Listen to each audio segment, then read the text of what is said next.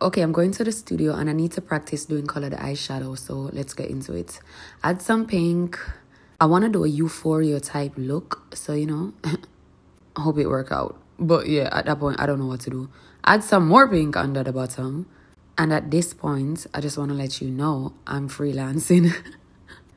glow it up. I think this will bring it off though. Put glow under the bottom as well. I'm trying to fade in the middle. Trying real hard. But I think I'm done. What do you think? I think I did good. It's not too much. The purple look goes